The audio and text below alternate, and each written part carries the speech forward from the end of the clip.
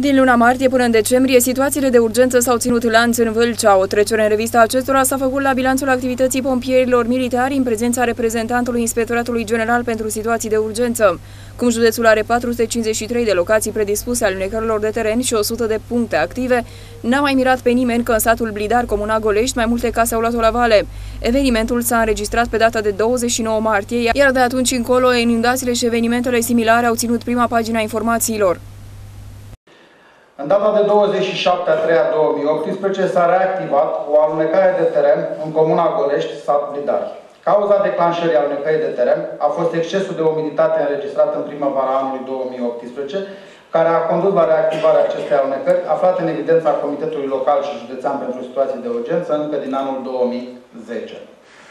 Efectele fenomenului de alunecare s-au accentuat progresiv, punând în pericol iminent mai multe gospodării ale populației. În acest sens, a fost emisă hotărârea Comitetului Local pentru Situații de Urgență Golești numărul 1 din data de 27 a 3 a 2018, în urma căruia a fost emisă decizia de evacuare numărul 1 din aceeași dată de către primarul Comunei Golești, conform planului de evacuare al CLSU Golești și prevederilor, bineînțeles, SOMAI numărul 1184 per 2006.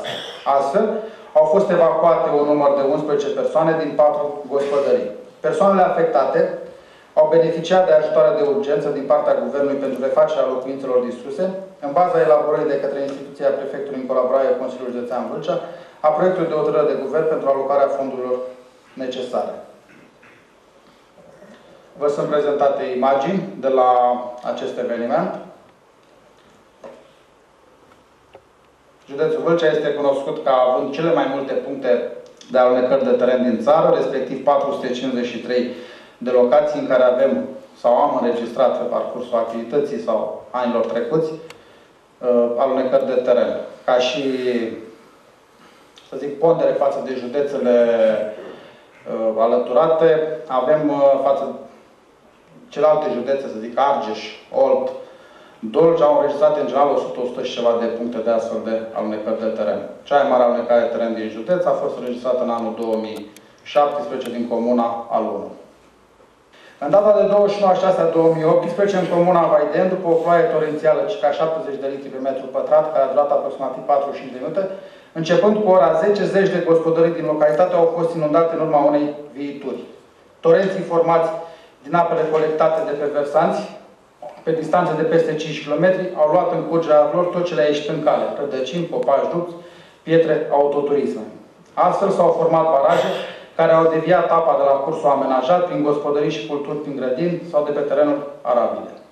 Peste 40 de pompieri militari au intervenit pentru salvarea 14 animale aflate în pericol de enet și pentru evacuarea apei din 34 de gospodării.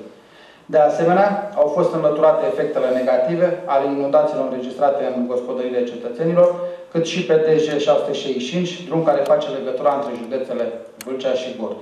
La solicitarea autorităților locale, inspectoratul a asigurat apă potabilă pentru populația afectată. În data de 10 a 7 2018, ca urmare a precipitațiilor abundente înregistrate la nivelul județului, în digul de protecție al părului Stâncălău a apărut o breșă din cauza creșterii debitelor de apă pe cursul râului, fapt ce a condus la inundarea zonei joase de la periferia orașului Băbeni. Au fost inundate un număr de 25 de gospodării, iar 130 de persoane s-au autoevacuat în afara zonei de risc, acestea fiind ajutate să-și evacueze bunurile și animalele. Forțele de intervenție au folosit sași cu nisip pentru crearea de diguri și au acționat pentru evacuarea apei și înlăturarea efectelor negative din gospodării.